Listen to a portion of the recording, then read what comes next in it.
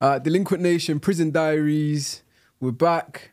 I got my friend Lee Marvin Hitchman here. Yes, What's going on, bro? It's been a long time coming. man. Finally, we linked up. Finally, you've come all the way down from Manchester. I Thank you for coming indeed, down. Yeah, Um, I know Hard you- journey. you- yeah, I know you've got a wild, crazy story. You know, we're gonna get into bits and pieces, Yeah. um, and and we're gonna really focus on your prison life. Here we are. We're gonna do something different, aren't we? Yeah, yeah, yeah. So, I know you've got a book called Born in Prison. I we'll talk about that later. Yeah, man. Um, but that's where I want to start. Like, Yeah.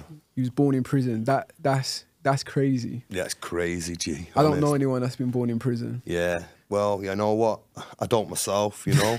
um, I don't know when I found out though. I think I was about. I heard the whispers. You know, like my my adoptive mum and dad was whispering to each other, like, "Yeah, he was born." You know, it was being a bit naughty and stealing and stuff. Yeah, And that's where the whispers I heard, oh, I was born in prison, you know what I mean? I thought, wow, you know, because I knew I was picked, so I knew I was special anyway, you know what I mean? And then when I was like, realised I was actually born in prison, it was like, wow, that is crazy. that is that, that that is that's that's mind blowing. Yeah. So using was in you was obviously in the care system because of that. Yeah, so what happened was is she, she was being told, um, When you say she, me- my, say- my, my mum? mum, my birth Yeah. mum. Your your biological in- mum. Yeah, she was in prison. She was from North London, actually. Word.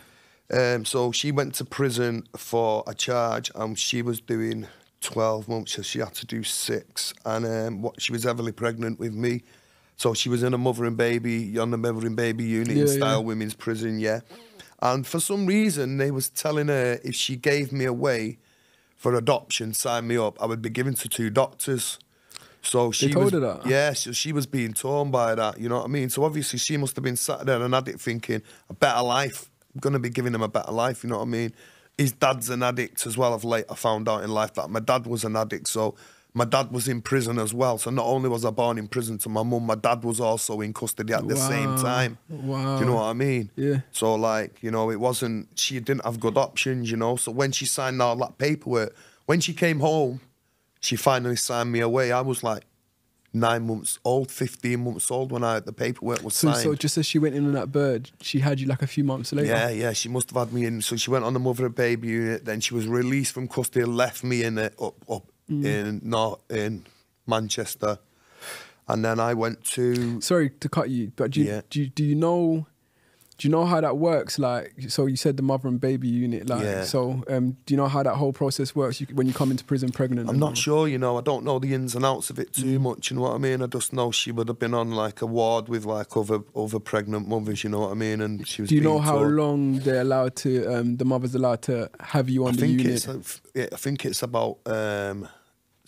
four months or three months. yeah, yeah, Yeah, yeah. I'm sure it was three months. Um, an, ex- an, ex- an ex-prison officer told me a couple of years ago. I spoke to him about it, and he said it was a good. Um, it allowed a few months on the wing. You know what I mean with the kids.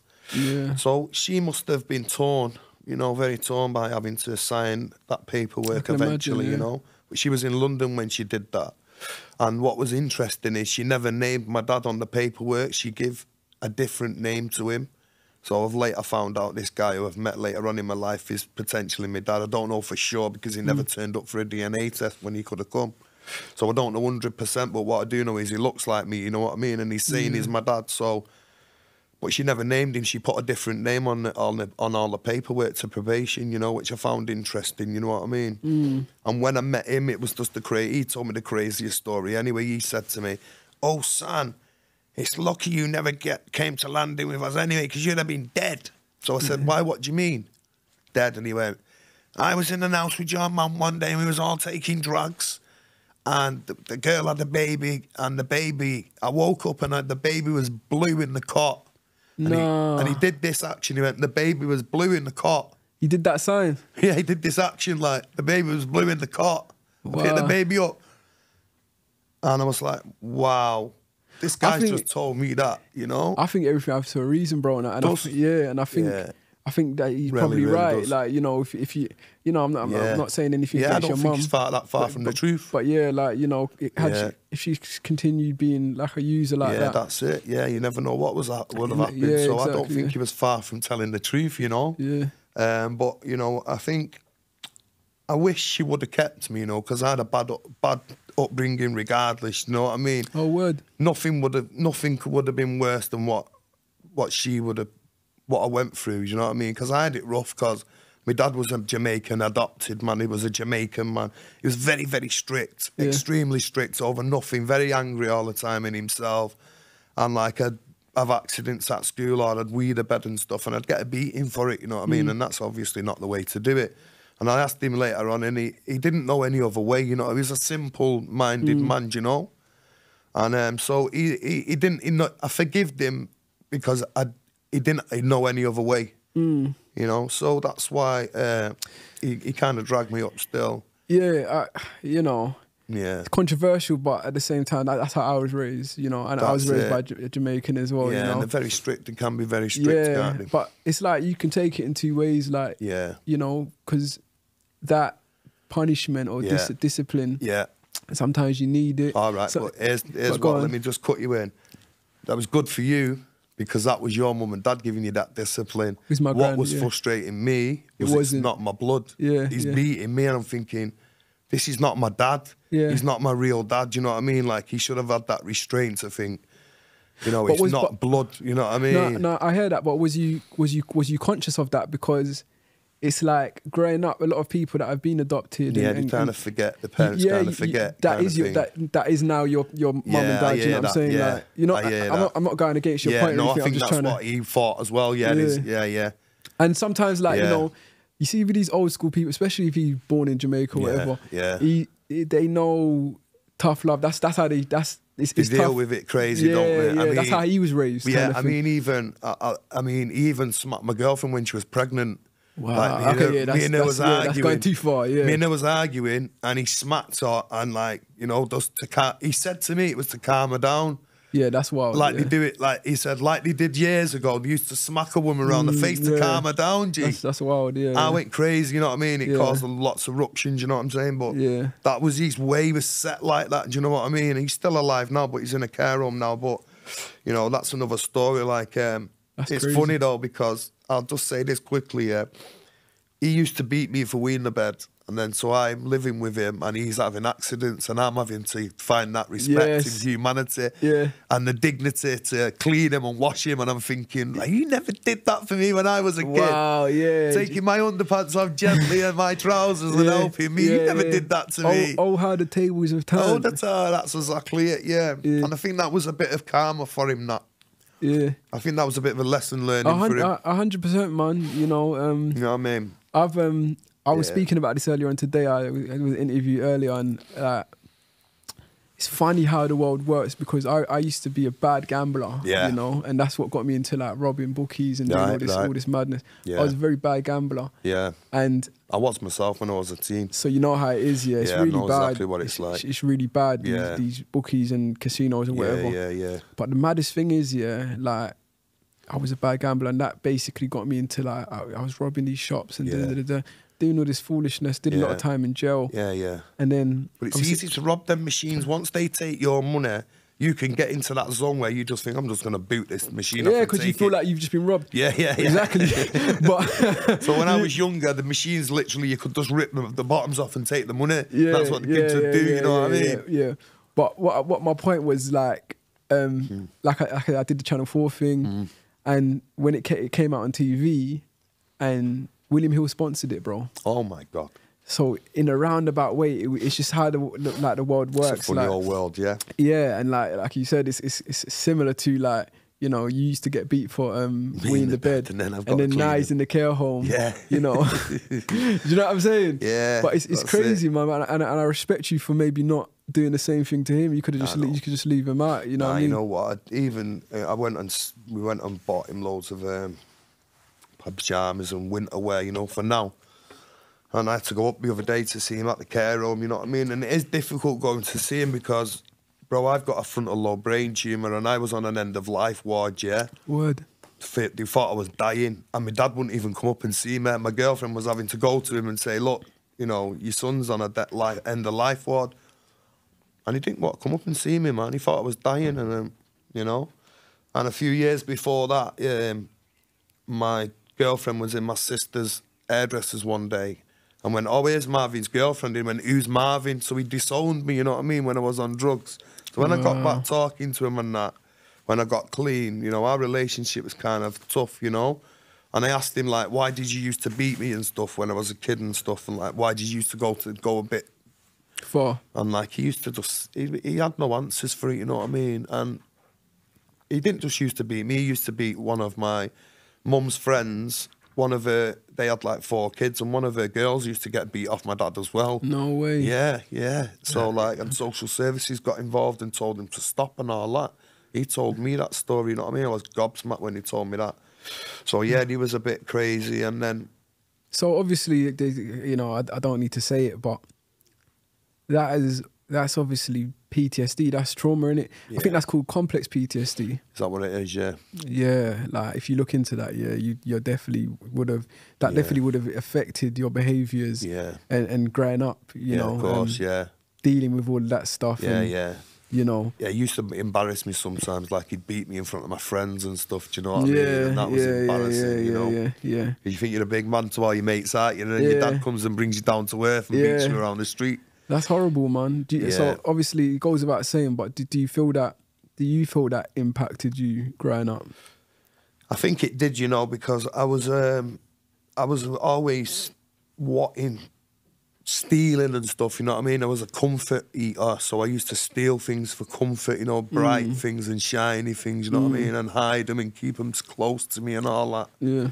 So I think, yeah, I think I recognised that I'd lost a lot in my life, so I was trying to scrape it back. Do you know what I mean? But I didn't respect him for beating me like that at all, you know. But as the years have got on now, I've just tried to deal with it. Like you say, you either live with it or you lump it, don't you? Type thing. Do you know what I mean? But it definitely affected my behaviours growing up. Of I'd course, say so. man. Of course, and Yeah. you know, um, I can't lie. It's like you've been through it, man. You know, I've seen a, I've seen a lot of your stuff as well, and I, I know Yeah. I know you've I know you've um, Well, yeah, I was. I got convicted for theft at fourteen, street robberies, uh, robbery for fourteen. You know what I mean? Um, yeah, street robbing in the city centre. You know, following all the crowds and stuff. You know, we're seeing other people robbing, so you get your you get your hat robbed, and you think, yeah, I'm gonna go robbing as well. Do you know what I mean? Yeah, Before you know it, I was a street robber where, convicted. where did you grow up, Manchester? Grew up in Manchester, yeah, yeah, and it was a it was a good time, but very quickly Manchester became Gunchester. Yeah, Went yeah, very dark. yeah, yeah. In the early 90s, it was a very, very dark place, you know? There was a lot of shootings and a lot of killings. Uh, and me, unfortunately, I got into crack cocaine just as like the gun crime era started, you know? yeah, So I um, tried crack off this girl. I was 17. I tried a pipe. She said to me, Have you tried coke? I went, Let's try it. And she just brought a crack pipe in and tried and I tried it. And You- I took a lot of drug before then. yeah. Sorry. I was gonna I was gonna ask like you know because I know there was a crack era, Yeah, you know, was. uh, uh, where like a lot of people didn't really know the, The effects of crack. of it. Yeah, do you know what I mean? And Yeah, um, they didn't. Even the dealers didn't know, bro, because the dealers that back then would turn the phone off at nine, ten o'clock, and that's insane. yeah, yeah, yeah, yeah, yeah, because like you know, We know now that's Yeah, insane, yeah. right? yeah, that's crazy. Yeah, deal, But- crack dealers turning the phone off at nine o'clock, like, nah, nah, I'm, I'm getting off, I'm going out, and I'm going yeah, to bed. yeah, and obviously, yeah, And you're cracked out your head, like, where am I yeah, you want, you want, your, you need your, you need your bricks yeah, in it. yeah. So I used to, me, I used to have to go into like, you know, the gang territory then, you know what I mean? Because that's the only place where you could buy crack then, do you know what I mean? Yeah, And then I got a taste for going down there. Then when I got addicted to crack, I knew that's where I could make the bit of crack money. But at the same time, it's a very dangerous place mm. because there's lots of men who have got guns, and there was a gang war going on. You know, was that the whole Moss Side? yeah, thing? the Moss Side war was going on. So basically, there was a, a road no bigger than this room, like separating two housing estates, and there was mm. enemies, yeah, murderous enemies for many many years, which was very unfortunate. You know what I mean? Because most of them were friends. yeah, Uh, most of them grew up as friends as well. Um, but, you know, just a gang, like, you had to take sides kind of thing, do you know what I mean? yeah, Seeing yeah. a lot of people go out who shouldn't have gone, you know, and a lot of regrets over the, the killings and the shootings, you know. I got shot myself, you know what Oh, I mean? you got shot yourself? Yeah, man, my friend shot me, man. He could have killed me, you know. I know he didn't mean to What was it over? crack, you know. Really? Yeah, yeah. I just my guy uh, gave me crack to sell to the man. I knew he was a gunman. My Yeah. guy like used to drive around with a gang of them in the cars. looking for his enemies. You know what I mean? And Yeah. literally, they would shoot you. You know what I mean? Yeah. They didn't mess about. You know. Um, so What he gave you a consignment. yeah, he gave me bits to sell for him. You know what I mean? Because Yeah. he's busy going around shooting people, and he's got a parcel, and he said, "Marv, do you want to do some bits for me?" And I've gone, "Yeah, yeah, yeah." And he's gone, "Don't fuck about, I'll shoot you," you know. And I was like, "Nah, I won't." I went and smoked him, didn't I? Smoked a lot, and uh, This is it, man. This is it. Like Yeah. you know, yeah. This Yeah. this this this is it, man. It's like you can't you can't give, with fire straight away, aren't you? exactly. And he, he he must not have understood it because you can't give a crack user Yeah. crack, to hold. It's it, not in a quantity. I don't know how You much he gave you, but yeah, it was like 10, 20 pound bits to sell for him. It's just Yeah, impossible. it's- you it's- know what I mean? you know, it's- he's like, give me, get me one thirty back, and I was like, yeah, yeah, and I smoked a lot, right? And I avoided him for a couple of days, and I seen him again, and he said, "Yo, Marv, you took taking the piss, man. You know what I mean? What happened?" And I went, "Oh, it just all went tits up. You know what I mean? You know the drill." Mm, what was you saying? Like Feds raided you? No, I or- just said I just ended up getting caught up with all the boy them, all the man them, and Oh, the you girls. just- and you just admitted it? Yeah, I just said Oh, I yeah, well, it all. yeah, I went, yeah. you know what? I've just done it all in, but he knew I was a money maker. You know what I mean? And he knew I had all the girls who used to come to me, so he knew I had a lot of turnover and money. So he knew he was going to get it. He gave me more crack to sell. Said, yeah, get some more. Yeah. Go and get me money now. And I went off and smoked a lot again. Again? Yeah. And I knew, I thought, as I was smoking them, I thought, this is stupid. This is crazy. You can't help yourself though. No, I like, couldn't help myself. Yeah. I couldn't help myself. It's like I can compare that to to the gambling. Like, That's it. Yeah, exactly. You're like- gambling with your life, aren't you, Yeah, this one? yeah, yeah. But- so I've gone go to this club now, and um, I've, my mate's gone in the club. and I'm in the, I'm in the back of this pirate taxi. That's the guy in the driver's seat, and my mate's gone in the club, and some guy's nosy look, see me in the, the car, and going, "Ah, rare, rare, oh, you owe rare, rare money." for shit. And he's coming, he's come out of the bar and gone, "Come here, Marv, I want you. Come here." You took the piss and just pulled out this big revolver. Um, What is and it- his brethren? he pulled out. He, his, his brethren went in and told him I was in the club. Oh, so he's pulled came up. out. Then he came out of the club Yeah, and gone, "Come here, Marv, I want you." Called me out the car yeah, down this little side street. Just pulled out this big revolver what he used to roll with. Yeah. And just went doo doo. Where- and where I did he felt hit? The le- I felt a second shot hit my leg, and Uh-huh. it just went doosh. You know what I mean? I looked down, I had a big hole in my trousers and that, and I thought, "Oh my god, I've just been shot." shot. Yeah, so I can't remember if it dropped me or not. I think I fingered, but it didn't miss me tibula and my fibula. Remember them telling me in the Yeah. hospital, yeah, you're very lucky, like, you miss your tibula and your fibula. I didn't even know what it meant at first, you know, at the Yeah, time. yeah, I I was like, know. yeah, whatever, yeah. Yeah. Um, Fucking hell though, man. I didn't even go to the hospital though when it happened. I went, I drove straight past the hospital. I got my mate. The, what happened is the taxi driver, the pirate taxi driver, when I said to my mate, I've been shot, he's heard it and he just ran off, opened the door and just ran. Oh yeah, you just cut out. Yeah, he just checked and I thought, oh my God, I've looked and the keys are in the ignition. I said to my mate, can you drive? Because I could only drive auto. And then, can you drive? He's gone, yeah, yeah. So, so we got we went to drive. So uh, instead of going to the hospital at the end of the road, I've just gone, nah, let's go to town, man. I'll go and have a few pipes to calm down, you know, because my heart was racing. And I was thinking, ah, it's a minor. And like, I thought, I'll just Fun- take my t-shirt off and just tie it up, you know, like, and just kind of Did, forget did, about did, it. Did, did, it? Did it? It didn't hit no bone. It just went Nah, through. it just went hit went hit no Do you know? bone. It's, it's funny you said that. Yeah, my, same thing to my my brethren. Like one Yeah. time we was like was only young. Yeah, and yeah. He like you know we had a madness with, with these Yeah. with these other kids. Yeah. And they sh- he got shot in his leg. Yeah. And it just went straight straight through. Didn't Yeah, hit no bone. it went straight So through. is- yeah. And he didn't want to go hospital either. Like because it was just like you got the adrenaline pumping. Yeah, that's it. You know yeah, I mean? think I was a bit scared to be honest with you. I didn't really want to face it. yeah, yeah. but yeah. luckily, you know, you can die off that. You can Yeah, hit an could, artery yeah, and you yeah, bleed out yeah, within yeah. two minutes, that you. Yeah, and the angle of it as well. I mean, you can see it from there, right? See it there? Yeah, I see it. Yeah, yeah, So yeah, he went yeah. like this. Like, it wasn't that far from me, was he? Yeah, Yeah, yeah, yeah, yeah, No, yeah, yeah, yeah, yeah. It's just so lucky how it just missed there. Look, you see it? It's just crazy, isn't it? Yeah, ball, yeah. Just missed them both. Yeah, and yeah, behind, like, don't even know it never snapped my leg. You know what I mean? Yeah, exactly. And on the and then I'm in this nightclub, and I've got my t-shirt tied round my leg, and like I've got because it's bleeding everywhere, and my heart's racing, and I'm in this woman's toilet, kind of owning it, smoking on the side of the toilet, Yeah.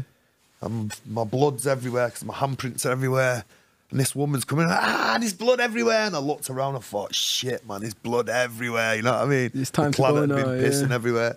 thought, I've got to go to the hospital here, man. And on the way, the bouncer, I blagged him for 20 quid for crack for when I got to the hospital. You know what I mean? Just mindless, really. Yeah, yeah. I've just, you It's know, I should have been It's- it's- happy that I've just been, I'm alive. That's what I'm saying, and it's crazy that that was at the forefront of your mind. But that's that's what addiction does, That's isn't it? what crack addiction, yeah, drug Yeah. addiction does, not it? Yeah. Just makes you for, not worry about anything else. You were just targeted on the drug. yeah, Yeah. yeah. I know so many people have been killed through the drug as well, through crack, Yeah. through robbing and stealing, and you know what I mean, and being, you know, one of my mates got caught on a fence and cut his leg doing a burglary, bang, drug related. Yeah, you know yeah, what I mean. yeah, yeah, bled yeah. out on a fence, and just there's so many times I could have died. Like I got, um, I got beat. I got a good beating once for um, robbing shots. You know what I mean, like robbing punters and that. Oh yeah. Oh, what you? Oh, you robbed the punter, but not. yeah, I was not- robbing punters. So what was happening was they was driving onto an housing estate in a state in the middle of gang territory, and one of the main gangs in Moss Side. Um, and the punters was driving on, and me and my mate was saying, "Yo, do you want what you buying?" And he was like, "Yeah," thinking we were the dealers, and we are just robbing them. Yeah, yeah, And then the phone in the gang and going, "Oh, we've just come on your estate and being robbed." So we was causing shit, Shit, yeah, right? yeah, yeah. And it was like twenty man all wanting to eat food off it. So we caused problems. And one day I'm on this road and this guy came.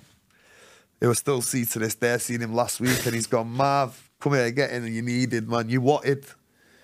And I thought, "Ah, what have I done now? You know what I mean? I'm like, what have I done?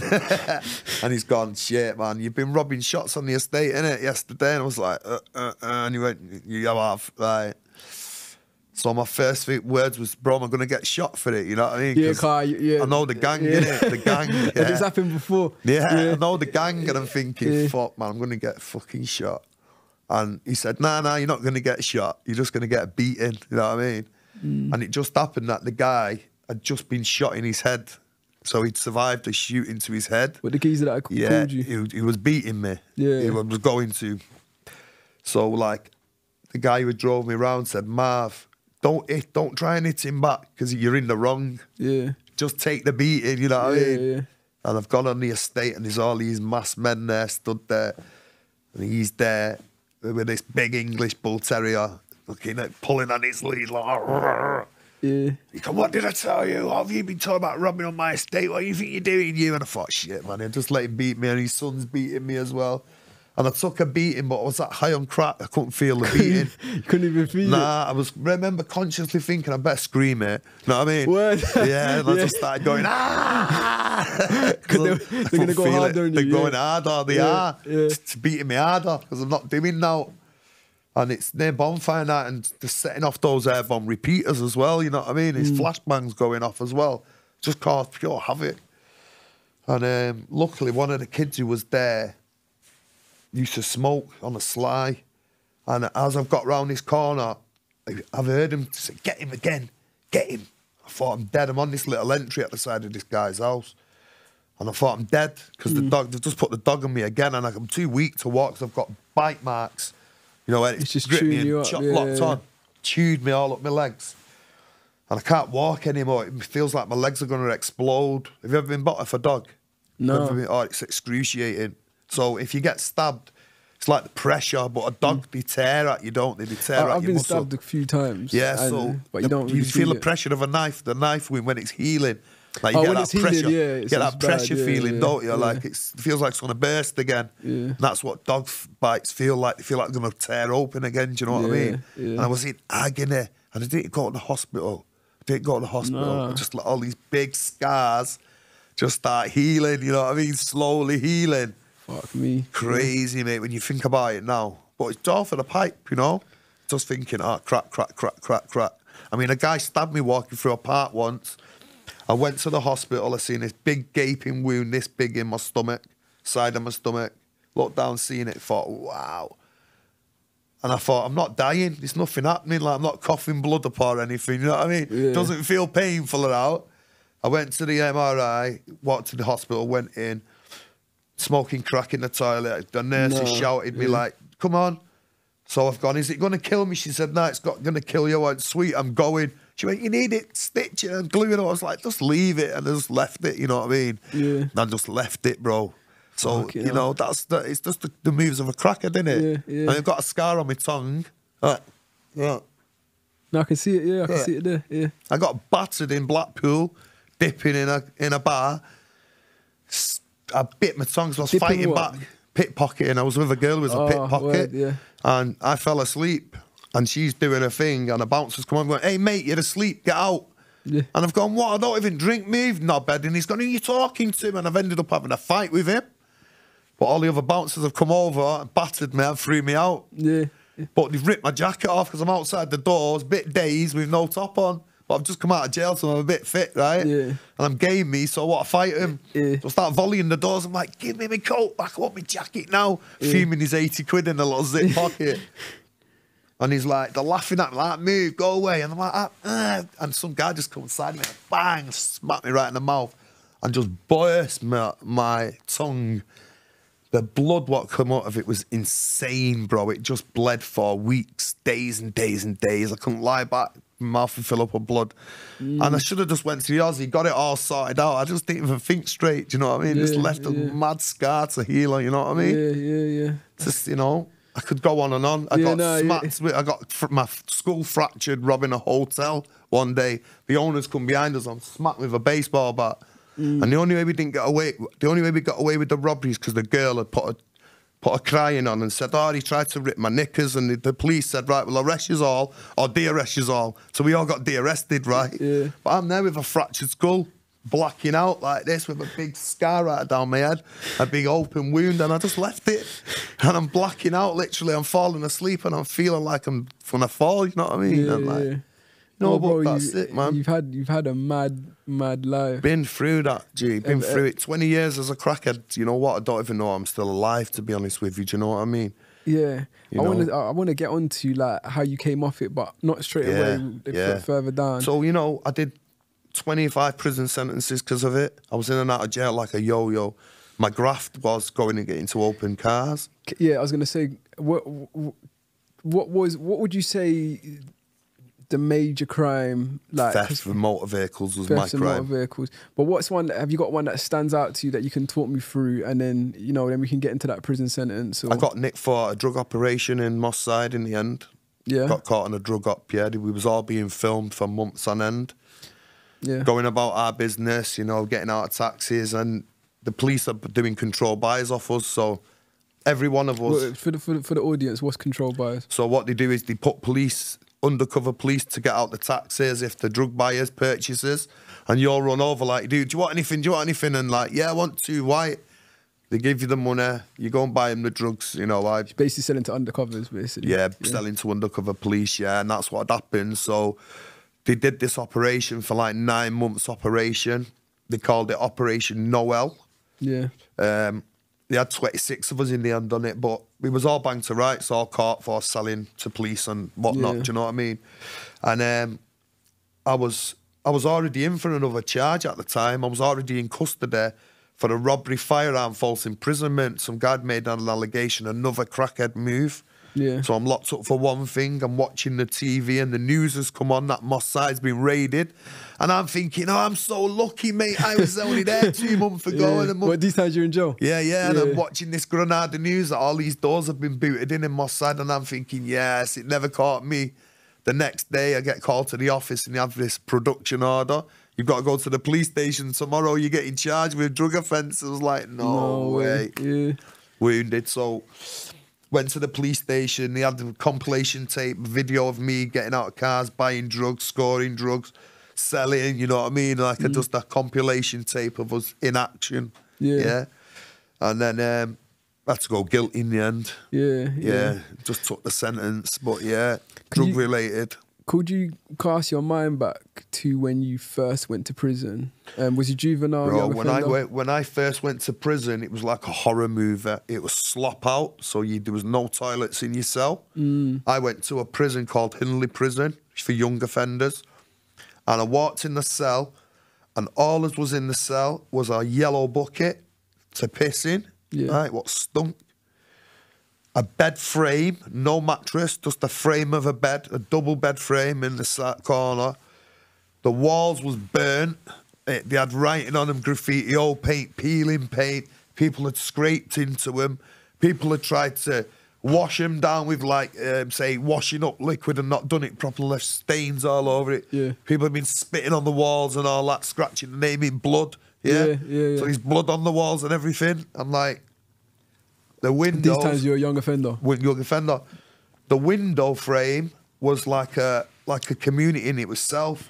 There was millipedes on it, centipedes, flies. You know, what I mean? everything was on Yeah. there. I, it, it used to fascinate me. So we did that much bang up because he was no, you didn't used to get What was the bang up? What was the bang up back then? It was just pure bang up. 20 23? Yeah, yeah, 23.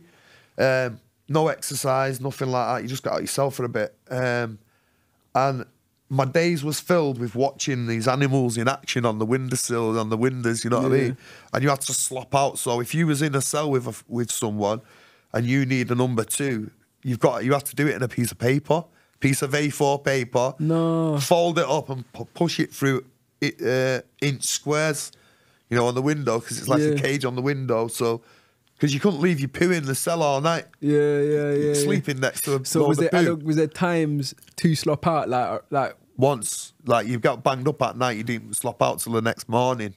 So, So- so people so you could get banged up at four o'clock. You could get banged up at four, go for dinner, get straight back behind your door, and you're not getting opened up till seven, eight o'clock the next morning. Yeah. So if you're dying for a poo at eight o'clock at night, you can't hold it in all night. Yeah. You're gonna have to poo, and you're pooing, you pour, pushing out of a window. You know what I mean? So you had to squish it all, yeah, roll it all up, all oh your poo. that is horrible. Stay, be serious. And everyone had to do it.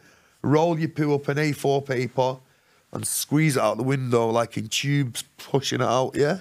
What is there? Is there? So, so, but where, where where are you doing these slops? Like I'm I'm, I'm interested in this.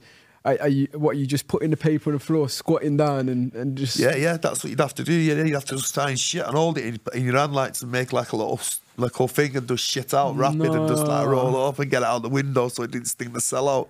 That is It's horrible. mental, innit? Was was like because I can imagine a lot of fights starting over this. Was, fights was just crazy, mate. No, no, but I mean o- over the oh the slop out over the slop. Yeah, like, yeah. Did you have like cellmates, like the dominant cellmate, like bro, you can't do a shit while I'm in the cell. and Yeah, if- yeah. if Well, that's did- what happened, innit? it? People's like, if you've got a celly and that, you're not like them shit in your cellar. You'd be like, nah, yeah, don't yeah, you dare yeah. shit Yeah, in here, yeah, mate. yeah, Do you know what I mean? You have to shit on slop outs. Yeah, you'd have to hold it in and all that. You'd make your celly hold it in, you know what I mean? You'd have to time it so you'd shit. You'd force yourself to have a shit so you didn't go behind your door dying for a shit. You know what I'm saying to you? Fuck, you know, and and I know um, back then, yeah, um, there there was um there was no uh, electricity on well, not le- This electricity. is but radio. You had radio, battery radio, no electric, no TV, nothing. You had batteries, radios, called Ramblers, all little box radios because you couldn't have a big stereo. You know what I mean? Mm.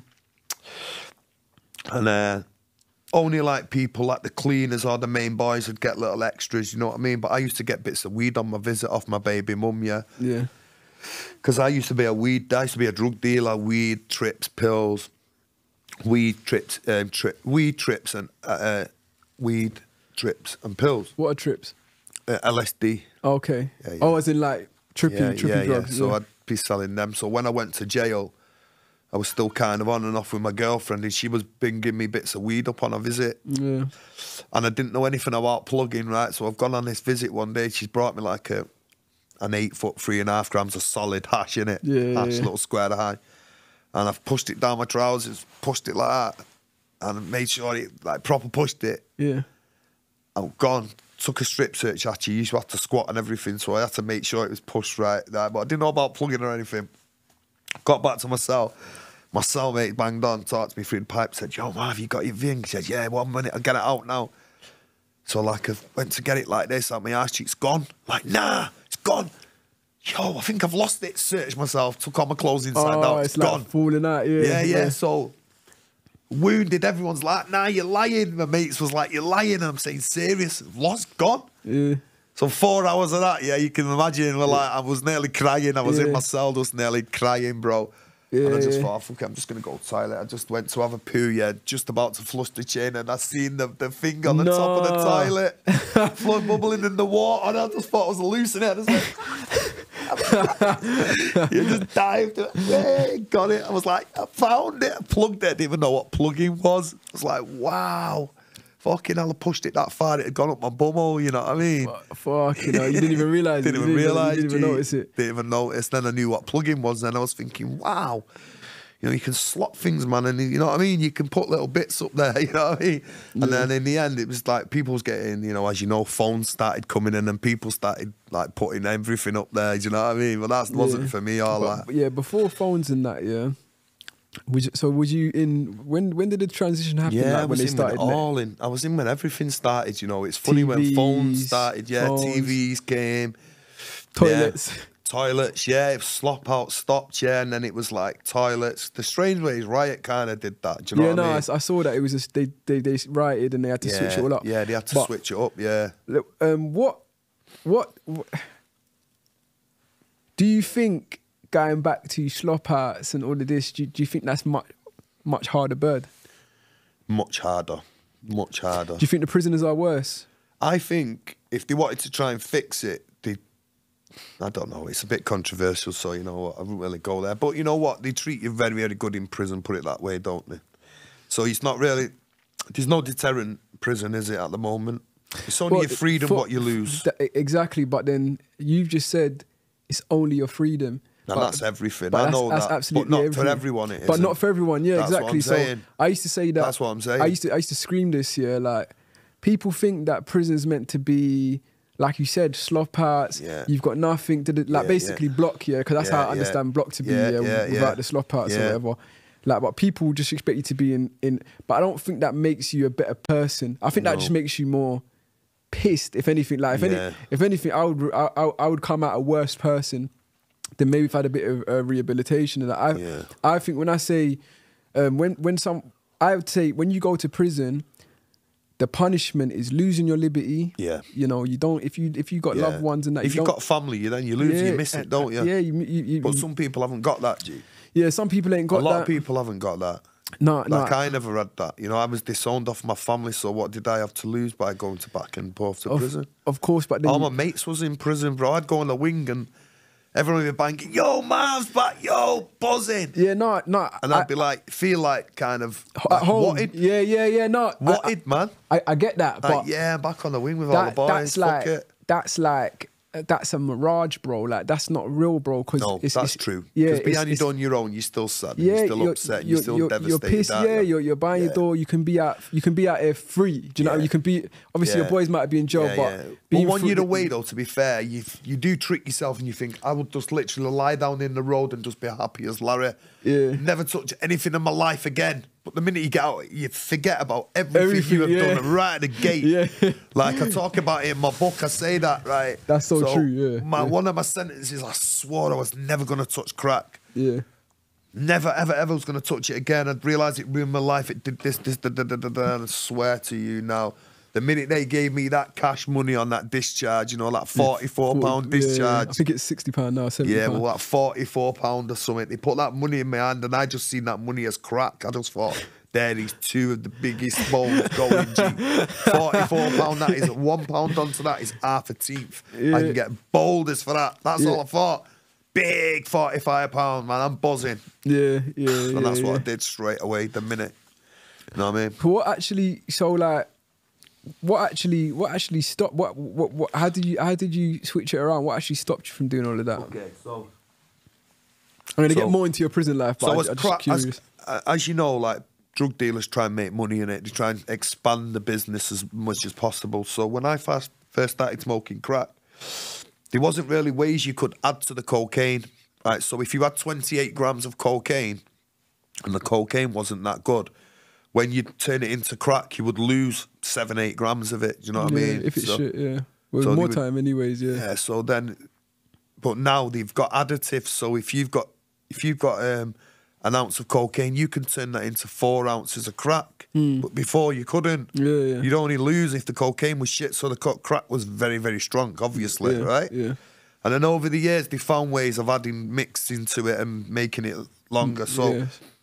Through that 20 years of me smoking crack, it went from 10 10 crack to 2 10 crack rubbish, Yeah, yeah, yeah, basically. And I used to sit there and think, this crack shit. Yeah. You know what I mean? I've been kidding myself thinking it was good, Yeah. putting bigger and bigger £10 pieces on, and you won't feel it like you used to before. And that was playing on my mind a lot. I was thinking, it's gone shit, you know what I mean? And I was trying to push that onto myself to get myself clean.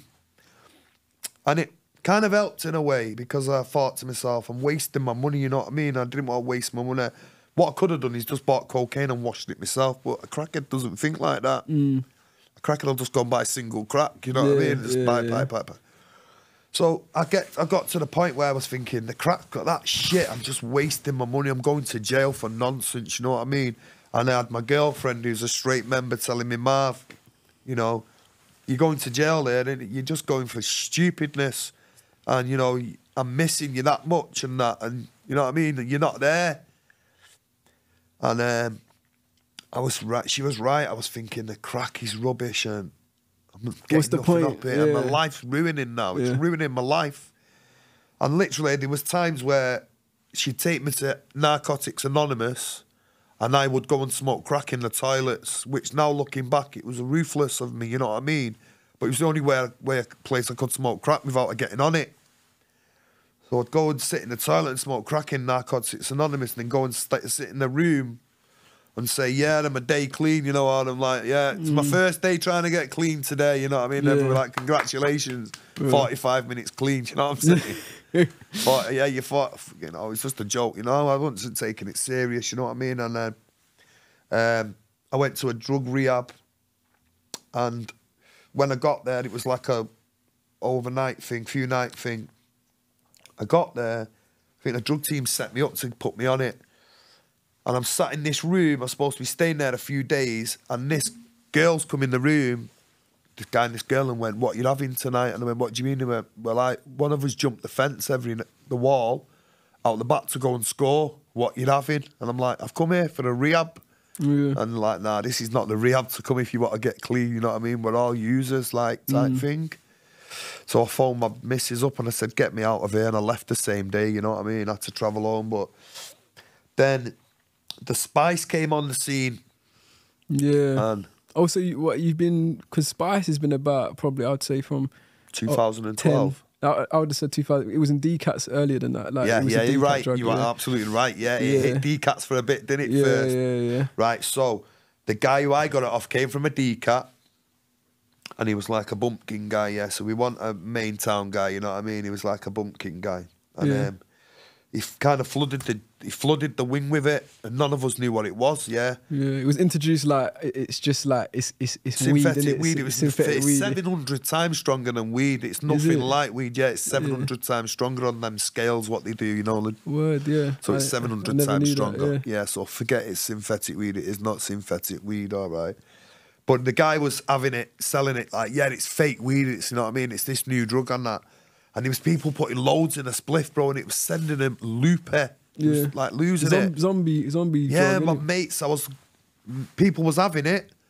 And I was opening the flap of the door behind the door and I'm looking at them and they're just twisted on the floor, you know what I mean? Or so I sleep in their own sick or something. And I was like, wow, what is going on, yeah? Mm. I've opened my mate's flat one day and he's like, yo, let me get this web at you. And he's like this with his hands thinking he's Spider-Man and he's on the floor and he's pissed like that trying to swim and I'm thinking, wow. So my mate who I was in with, I was in Would with you, a would you say scouser that? Would you say it was worse than crack? worse than crack, bro. Worse. Oh, that caused more problems than crack. That did. Yeah. I was in with a scouser, and this scouser used to get bits on his visits, right? And he was a safe as fuck guy. And he used to say to me, he said to me, Marv, don't smash it like all these kids on the wing are doing. Don't start putting loads in. Just go easy with it. You know what I mean? So I put some in. I put some in a roll of tobacco, and I've had a few drags of it. And I felt like Terminator. I felt like all my body had just switched on, like because my arms were tingling from my fingertips. Mm. Gives you this weird tingle, and it was going all the way up to my body, and I was, it was like I was alive. Like mm. I felt like I was like this machine alive. And I'm lying there thinking this is one of the strongest things I've ever had in my life. You know what I mean? And I tried everything. I've been So- addicted to everything I've ever tried. Off the back of the spice thing, yeah, I know. Um, I've I've done a lot of bird myself, yeah. You have? Um, and I know the spice culture. Yeah. And I know you mentioned hits and that. Yeah, man. Have you have you ever done a hit for Spice? yeah, I was doing hits and stuff. Yeah, I was a bit Could you, ruthless could you, could you, could you explain to the people what a hit is? Yeah, so you're doing a hit, you you um, drawing blood on somebody like a. All right, also one time example, I give it an example.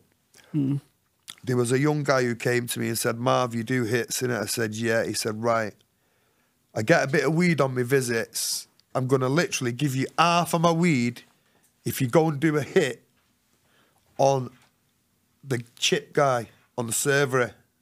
So I said, The "Why? what's up?" chips, yeah. Yeah, so I said, why, what's up? He said, every time I go through the server, eh, the guy is giving me half a amount of chip. This guy's only a little guy, bear Mm. in mind. Small, little blonde guy, little skinny guy. He's giving, stitching me up on the chips every single time. Mm. And I'm asking him for more, and he's fucking me off, yeah. So I said, all right, I'll sort it out for you. And um, so the Saturday morning come, and I've gone into the cell. I've tapped him on his shoulder. Well, I threw his pad mate out, get out.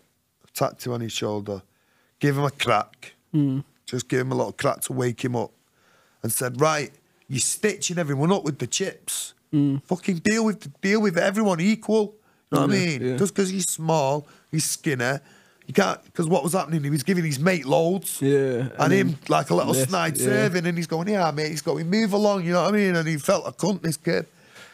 So uh, I ended up, the guy went, Yeah, man, I swear I'll sort it out. And then the chip, the chip day, he was like, Chip, my chips, man, look, man, this fucking big pile of chips. Like, yeah, filled up the plates and that. kind of big pile of chips, man. Like, yeah.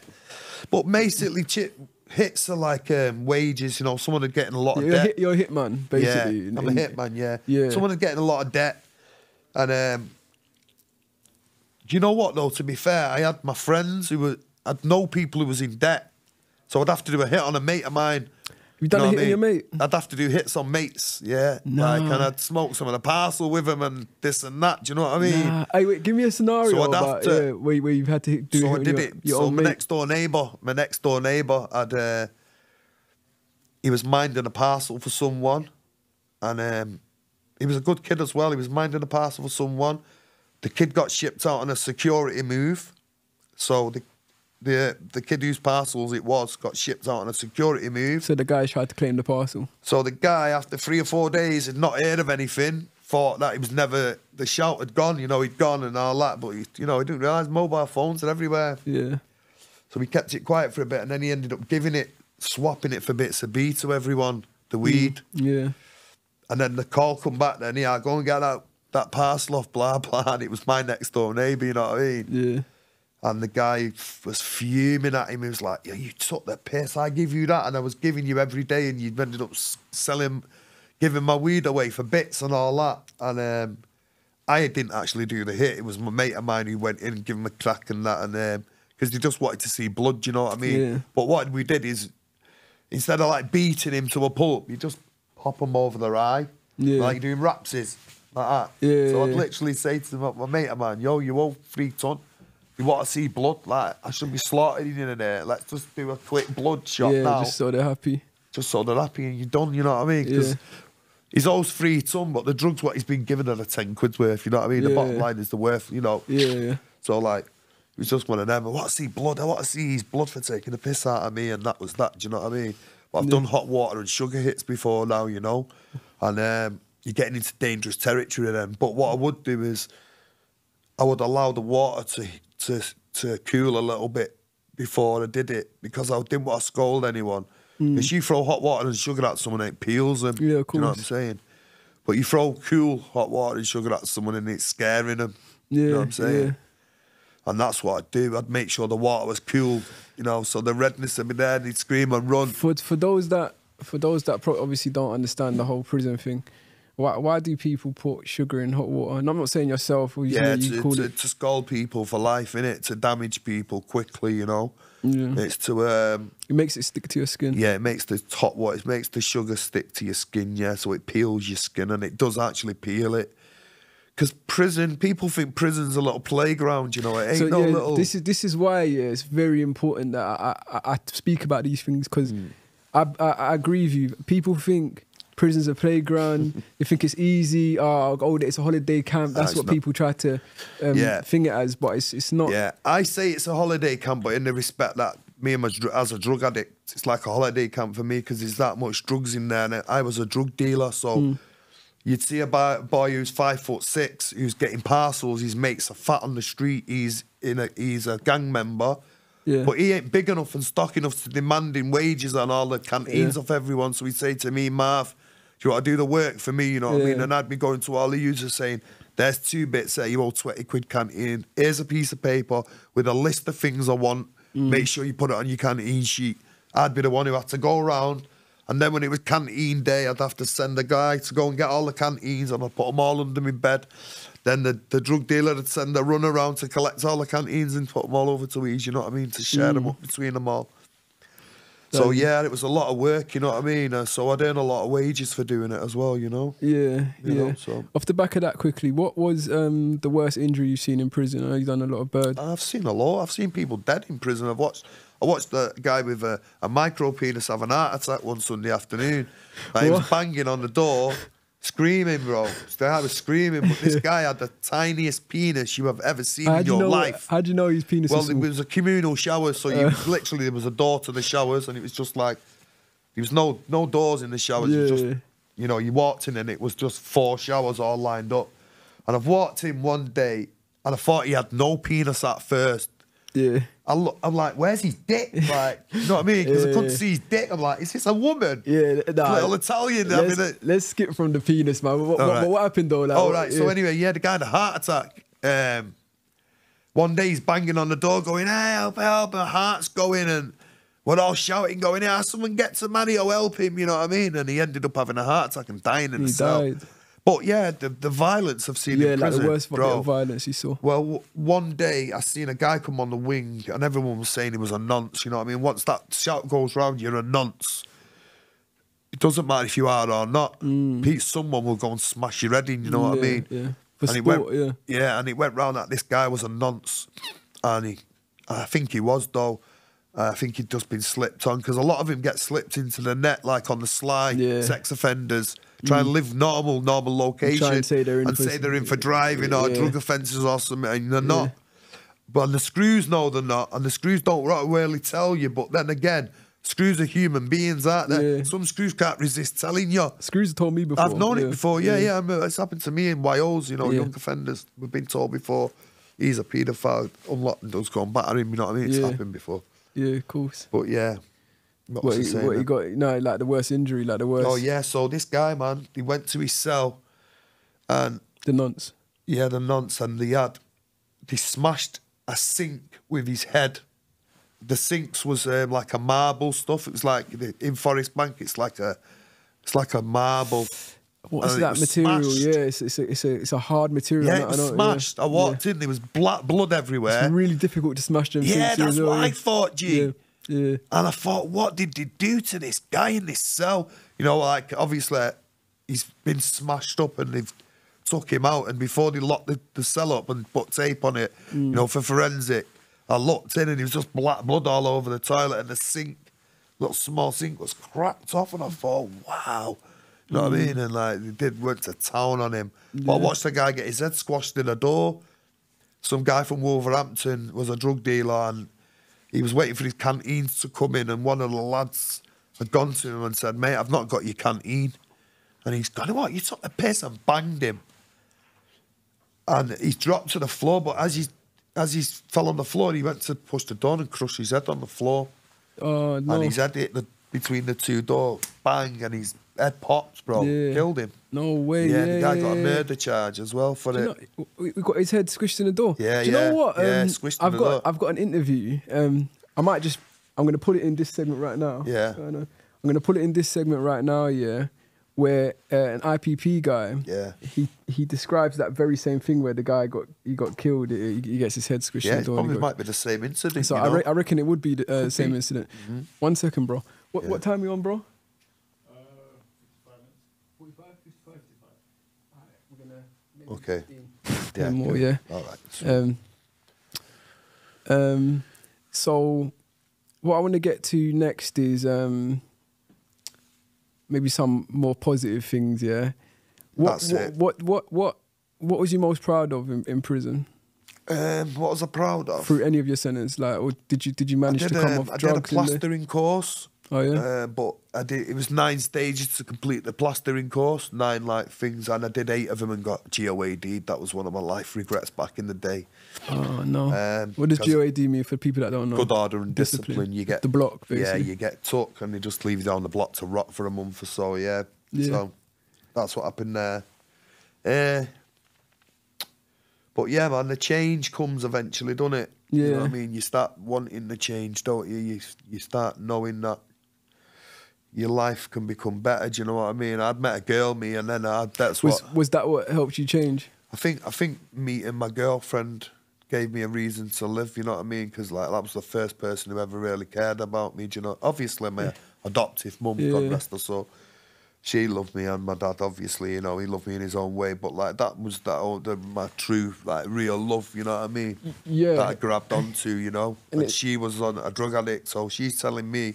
There's a better life being clean, you know what I mean? I'm saying bollocks, man. I just want to go and smoke crack. Yeah, yeah, And then eventually it started getting into me. There might be a better life. Do you know what I'm saying? Yeah. And it sounds like you've obviously found something to lose. You know, maybe Yeah. before you didn't have much to lose. Yeah, I've got a son now, man. That's everything to lose. Oh yeah, come that's what I'm saying. What, what, what Four re- years old he is, yeah. Oh come on. bonfire night, baby. Born on bonfire night. Oh, so, was it 25th November? Fifth, fifth, Fifth, of- November. That's fifth it. Yeah, November, yeah, that's it. bonfire night. Wow. Yeah, Yeah. Came as a little firework, five past five on the 5th of November by emergency C section, yeah. But he came after 12 years. I was with her 12 years before she got pregnant. Um, she got told she couldn't have kids. Um, so him coming as a little dream just after I found all my birth family as well. Yeah, Because I went yeah. searching for the answers in it to Yeah. find my birth family. Um, so I was working with an adoption agent to try and find my mum. Then when I got clean, they said, "Right, you're ready to find her now." So I was buzzing. I went away, and uh, they, she phoned me up and went, "Yo, come in on Tuesday.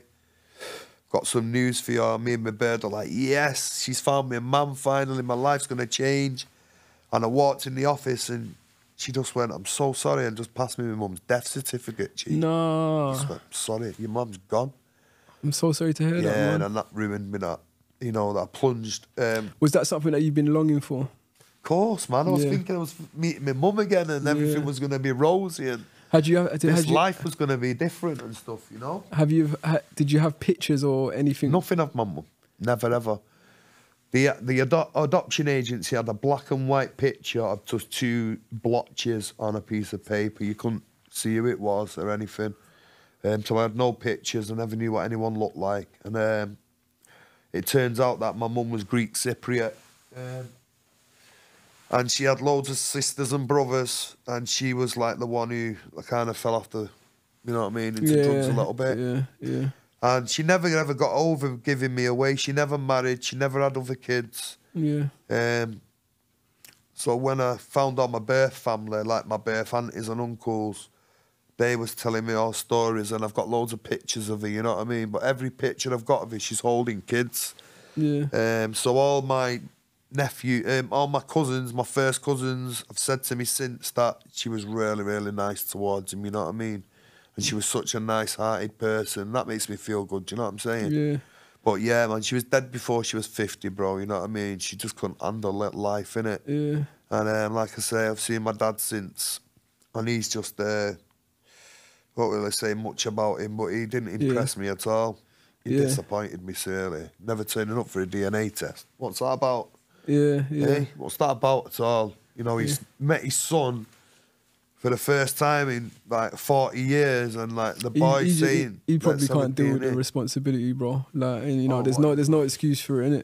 don't know what he was on, but what disappointed me is he's got kids to another woman. He had 10 years after having me, so I've got potentially half brothers and sisters, Mm. and they don't want to meet me until they know that that's my dad. Do you know what I mean? So I'm stuck because I'll never know if that's my dad or not now, G. You know what I'm saying? So that's Uh, quite disappointing. And Yeah. they're up from this side round here somewhere. They're from like London up this Oh, is side. it? Yeah, North London side they're all from, yeah. But he's not. He's not dead though, is he? Now he's still alive. That's what I mean. I've met him. Like he was the one who told me, "You're lucky he never came to London because you'd have been dead." You know. I do feel like everything happens for a reason, though. I do. Yeah. So I do. you know, maybe maybe sometimes that's best. You Yeah, I know. Um. So our first meeting, I heard him talking on. He got on the phone. First ever meeting, seen him for the first time ever. He got on the phone, and he heard him talking about Valium, Blue Valium. Yeah.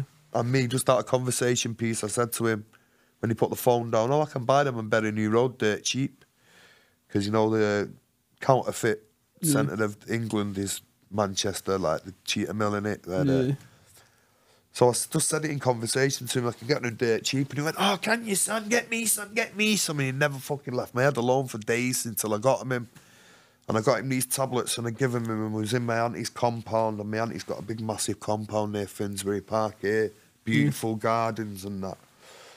And I'm sat there, just me, him, and my girlfriend. And he got smashed off these tablets. I could tell he was wavy off him. This hmm. is after a couple of hours of giving him him. And he started telling me that he used to force force guns to women's heads and force them to take drugs. Is it? And he used to make girls inject heroin and all that. And he's telling me these stories. And I'm thinking, my girlfriend sat next to me and he knows what Kira's been through because he's heard a little bit about Kira's past. And he's saying, yeah, I used to fucking put guns to women's heads and force them to like take Or heroin. he's and- just boasting about it. don't know what he was doing, G, Mm. because my girlfriend just got up in disgust Yeah, cool. and just stormed off. And he Yeah. went, "Oh fucking hell! I don't think I really should have said that, should I?" And I went, "Not really, you know what I mean?"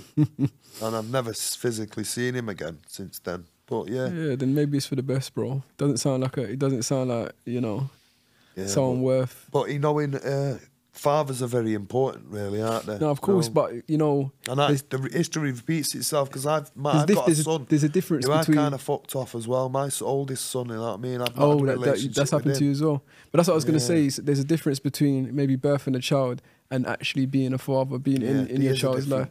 difference. A a big difference in that, you know. Yeah, yeah, there's a difference. Because my firstborn, when I had him, I, when she was pregnant, uh, when she just had the baby, I was a crackhead by then. Just as she was pregnant, just as the baby was born, I was a crackhead. Mm. And I knew I couldn't be a dad, you know what I mean? And I didn't, didn't want to be a dad. I didn't want her to get pregnant. She's supposed to have been on the pill, you know what I'm saying? Not that's anything against my son, you know. I'm glad Yeah. he's produced now, you know. It's meant to be, like you say. But at the time, I didn't want no picnic. I was 17. Oh yeah. You know what I mean? I'd only just moved out of my bedroom at my mum and dad's house, you know what I mean? I yeah. didn't want kids. Yeah. I wanted a family, you know, before I had kids. So Yeah. getting pregnant kind of pissed me off, do you know what I'm saying? But she did it to kind of, I think she wanted all the family relationship before it. She wanted the perfect life before you, you know, before you get it. But it is what it is. I was an addict by then. I wasn't ready to be a father, do you know what I hmm. mean? So me getting a second chance at being a dad is a blessing, do you know? Yeah, no, of, of course, and Yeah. you know, and, and you- can you can you can do it well this time.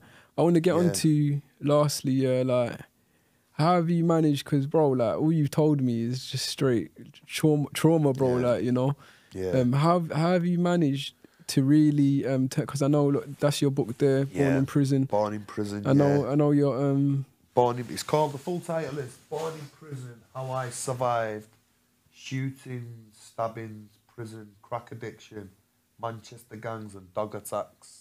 That's a gripping title. that's proper gripping. That's But title. But I'm saying, like, for anyone else that, you know, may have gone through something similar, may have been addicted to drugs and, you know, had a like horrible upbringing like you have. I'll tell you what I say. I'll tell you what I would say to them. You can change it round at any moment.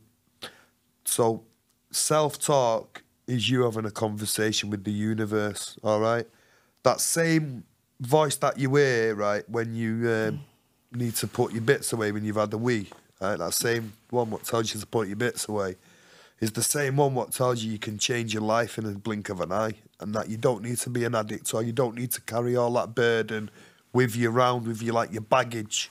You know what I mean? You can drop your baggage off. You know, like so I use like compartmentalization techniques now. You know how to lock things off and stuff. So I'll picture like a big wardrobe with loads of drawers on it, and I can pull things out and talk about it, and I can put it back. You know. Yeah, yeah, You know, right? yeah, so I can yeah. put it back and lock it away for another time, and that's what I'll do to manage. You know what I mean? And that's how I'll manage. Yeah, no, I, I respect that. And do do you think that's done now? That part of your life is over now. Yeah, the good parts are living now, innit? I'm living now. Yeah, I don't know how long I'm gonna have left, but every day is a blessing, innit? How long ago? Because I, I know you said just quickly. I know you said like obviously you, you was in jail recently when there was spice and mobile Yeah. phones and that. How long ago did you turn your life around? Well, I've not took crack cocaine for 11 years now. Wow, respect. Yeah, Yeah, man. yeah, That's respect. good, innit? No, that's really good, It's man. mental, man. I Yeah. say that. I think I can't even believe it myself. Do you know what I mean? It Yeah, it was like such a, dream. big part of your life, isn't it? Yeah, I was an addict for 20 years, yeah, and uh, I don't know how I even stopped it, you know. I just had enough of it, do you know what I mean? But for anyone out there who's just starting sniffing cocaine now, I would give you a very, very, very big warning, a very serious warning that don't touch the pipe, don't smoke freebase crack, cocaine, because cocaine and crack cocaine are one and the same thing. Mm. It's one small ingredient that you mix the cocaine with and it Mm. turns it into crack. People think it's some different drug, crack and cocaine. Think it's different. It Yeah. ain't exactly the same drug. Yeah. You can snort crack as well. You know, a lot of people, a lot of crack dealers will also sell powder cocaine. Yeah. So I know crack dealers who, when the phone goes and someone wants powder, they just literally crush the crack and just sell it as powder, do you know? Yeah. yeah. So you you can snort crack as well. Do you know what I mean? So there's a lot of people out there who don't realise that they're Yeah. getting into very very dangerous territory. You know what I mean? And it could be out the depth. So I'd say take a take notice of your your mind telling you things that Mm. if your mind's telling you look this is wrong. You know what I mean? You need to start listening to yourself a little bit more. Because I never listened and I went down everything my own way. Yeah. Do you feel like, because I noticed you said earlier, um, just now, you know, you, you know, you don't even know how long you got left, whatever. Yeah. Do you feel like it's it's it's you've turned your life around too late, or do you feel like Could be, you know, could be because he, you know they found a, a brain tumor, dead center on my forehead. Yeah, mm, every year I've got to get it checked. You know, um, that could be drug related. That could be a direct result of taking drugs. They don't know how they come brain tumors. Mm. You know, they don't know how they appear. mm, Um, so that could be one of the knocks on the head I took through robbing drugs. That's what I was telling you before about getting a fractured skull. Mm. Yeah, you know, the yeah. amount of knocks I've had on my head. yeah, That's why I let my hair grow now because I can't. Shaving's too sensitive. Shavers, you Word, know. yeah. My head's that sore, really. yeah, Um, so yeah, my bro. Um, lastly, um, what are you doing yourself now? every day is a blessing. Um, trying to share my experiences with other people. Um, we're going to be doing. Got big news coming soon. Like we're going to be doing some productions and stuff and some other big things. You know what I mean? Um, yeah, you got the book, obviously. You said. Got the book, yeah, and a few few other things in the pipeline. Do you know what I mean? Yeah. Kira's looking at writing a book as well because she's got an extraordinary tale. That's your missus, My missus, yeah, Yeah. her tale is quite out there as well. of course. Yeah, And it's yeah. vi- it's going every time she tells it, she gets a million views on it. Do you know what I mean? So yeah. people want to hear I, it. I, I, I've definitely, I'm definitely gonna check her out, and yeah, obviously at the same time, you can, um, we're gonna, we can add all of that into the description. I'm gonna add all, yeah, all your to details see in. Kira's videos, yeah, amazing. I add all your details in the description, and Yeah, obviously your Because how I met her, she was literally just, she was with a guy who's got his sister on the game, or as and he used to force women to become prostitutes. You know what I mean? And I seen him with her and went, "Nah, you ain't getting her on that game, mate. You better fucking leave her alone." Mm. And You that kind of was saved her. Yeah. nearly 17 years ago. You know what I mean? I've been with the girl ever since. You know, so her tale is worth listening to. You know? yeah, I'm definitely gonna check it out, man. Yeah, man. Yeah. My bro, thank you for coming down all the way You're from welcome. Manchester, man. Thank you for welcome, coming Jim. down and telling your story. You're welcome. It's bro, it's crazy, man. know, I can't lie. This is one of the, yeah. I, I know we could have went on a lot longer. I know, Yeah. but you arrived late, and you Yeah, know, that's it. but obviously, But I think if you check out the book, you read the book, tell me what you think then, man. Maybe we could do another part two. No, I think we should anyways. I think I we should think we should. regardless. Yeah, when when, it, when when obviously there's more time and whatnot. Yeah, I think we definitely should regardless. Yeah. But bro, thank you for coming down. You're welcome, man. Um, You're welcome, G. uh, Delinquent Nation, Prison Diaries. Yes. Uh,